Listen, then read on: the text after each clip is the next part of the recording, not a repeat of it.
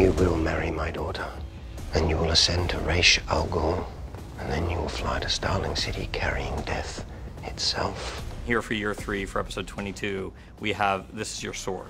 Uh, it is written by Erik Oleson and Wendy Mericle and directed by Wendy Stanzler. This is a double Wendy episode. I would rather die than wed this pretender.